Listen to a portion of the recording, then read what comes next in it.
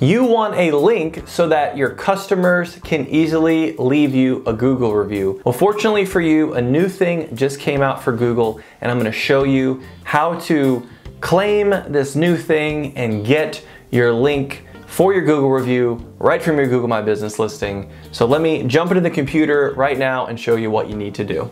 Once you log in to your Google My Business listing, you wanna go to the info section. And once you scroll down, you're gonna see this little at sign. And this little at sign is your short name. This is a new thing that Google was testing out. Now it's rolled out to all businesses.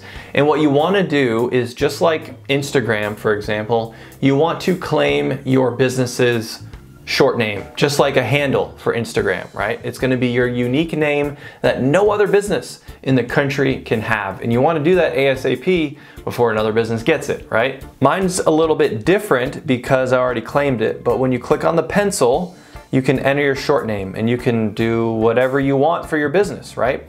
And even if you do it and you don't like it, it can be changed. You can see here three times a year. So once you have your short name, right, there's a max 32 characters. I'm almost at the max, so it might not work for every, you know, you're gonna have to make get creative if you have a long business name.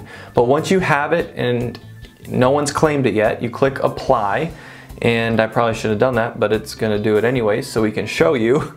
Uh, it's out there, and once it's there, now I have heard that it might take a few days for Google to process this. I guess they want to make sure that it's not spammy and then and and they're doing a lot of manual reviews with this.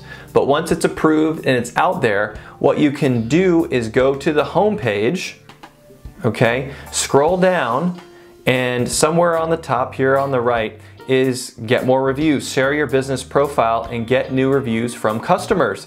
Copy to click link. And you can see this link, it's g.page okay, which stands for Google page, slash your short name, slash review.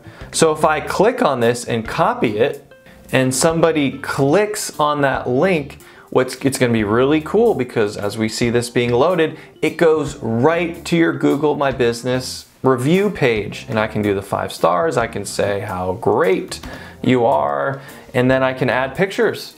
It's that easy.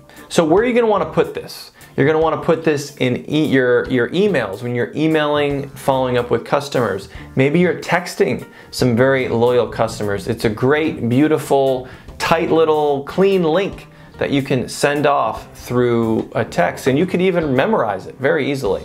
You might wanna put it in your email signature.